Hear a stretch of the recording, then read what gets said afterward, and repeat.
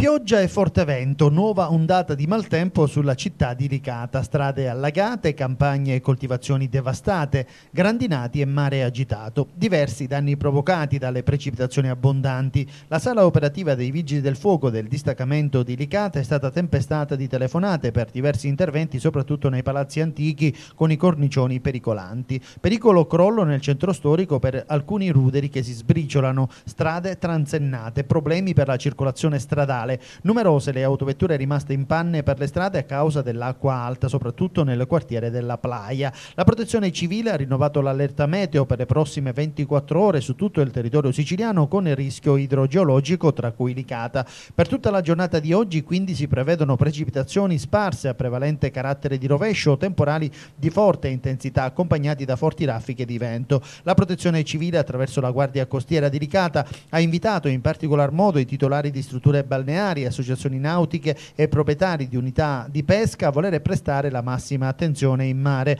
L'ufficio circondariale marittimo di Licata assicurerà una continua vigilanza e seguirà attentamente l'evoluzione dei fenomeni temporaleschi.